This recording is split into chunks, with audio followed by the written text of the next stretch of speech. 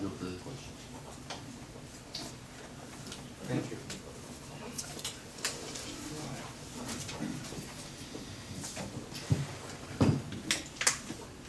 Uh, Mark Regenwether would call himself.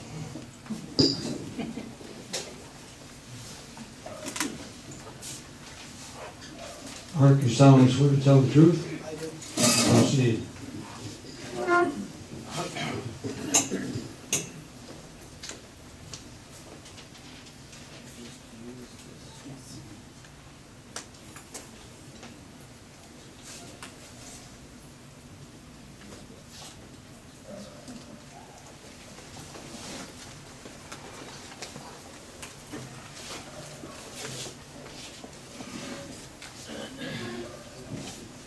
You're Mark Regenwether, That's correct. and uh, you're presently unemployed. That's correct. How long uh, have, uh, had you been a Clinton firefighter? I uh, celebrated 32 years, uh, August 16th. And uh, how long is it before you reach your full retirement age? Um, about 15 months right now. And your last position with the Clinton Fire Department was chief. That's correct. Mark, I want to uh, just review with you the exhibit book that's in your lap so that um, the commissioners will have an understanding of, of what those exhibits are and, and why they're there. Uh, Exhibit one is an organizational chart for the city of Clinton, you see that? Yes, sir. And uh, the fire, the fire department is one of a number of departments that report to the city administrator. That, that's correct. That's correct. And exhibit two is uh organizational chart for the Clinton Fire Department. Yes, sir. Okay, and, uh, and you're at the top of that chart, or were, as fire chief. Yes, sir. Uh, You tell, just tell the commission a little bit about the responsibilities that you had as fire chief, uh, dealing with these various departments. Well, we have three totally separate functions. Um, First function is fire prevention, education, uh, code enforcement, and arson investigation. And that uh, responsibility is under the command of Michael Brown, who at the time was our our fire marshal. Uh, We have another division, which is our EMS training division, and that was under Division Chief McGovern, and his responsibilities were training the department, uh, whether it was rescue, EMS, or fire, was overseeing our EMS department, uh, responding as our safety officer. Uh, There's many, many more. Uh, We're a small department, so we're required to uh, wear a lot of hats in order to be able to function uh, within the budget that we've got.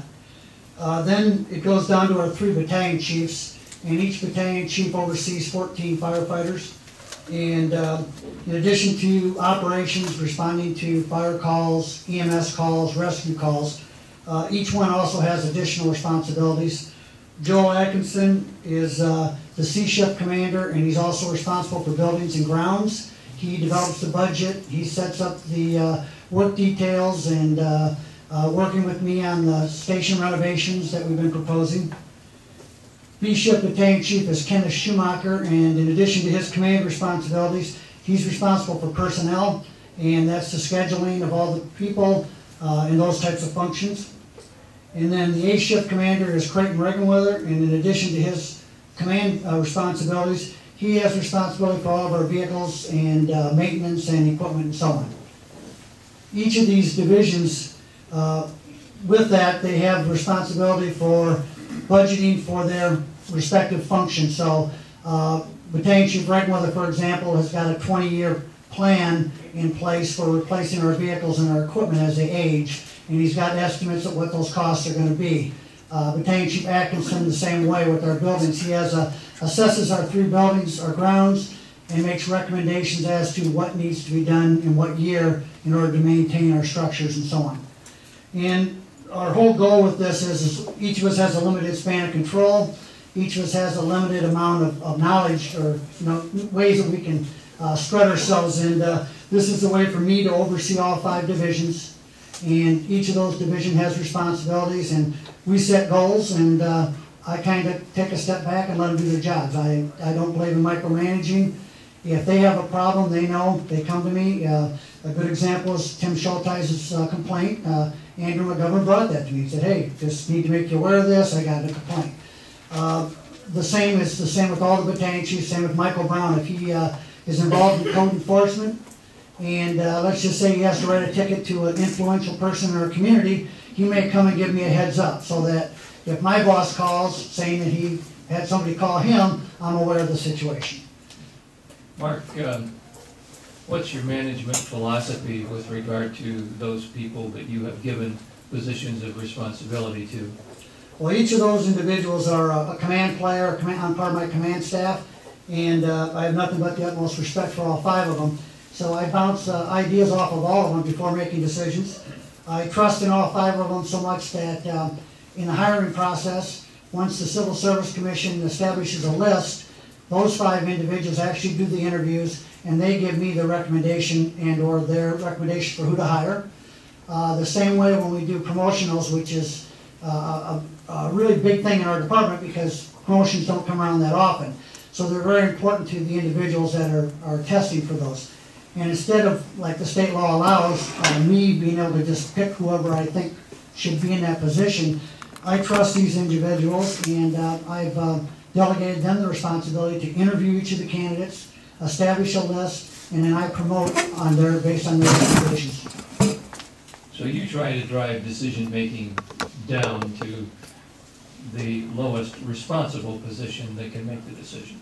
That's correct. In fact, there's three lieutenants that are uh, uh, assigned to each battalion chief, and our goal is to get it down to where they're making the decisions. If there's a problem on their ship, like I say, if you'll excuse my language, when they do good, pat them on the butt, and when they do bad, chew their butt. But it's their responsibility, and that's stuff that should be done at the lowest level, not like it was done years and years ago where everything ended up on the chief's desk. And I'm not the direct supervisor of these individuals, and it needs to come from their supervisors. Uh, Exhibit three is this packet of materials that's sitting here next to me. I'm not gonna go through that, for which I'm sure everyone will be grateful. Uh, But uh, essentially, uh, that's some documents from your personnel file that talk about the various training schools and and qualifications that you've had over the years. Is that correct? Yes, sir. Uh, I think there might even be a letter or two in there of commendation. Yes, sir. Uh, In fact, didn't you receive a commendation for saving a life uh, at one point, at least one point in time? I was uh, lucky enough to be on the crew that uh, did the first uh, save using the defibrillator uh, in a fire-based system. And you got a letter of commendation for that from, or thank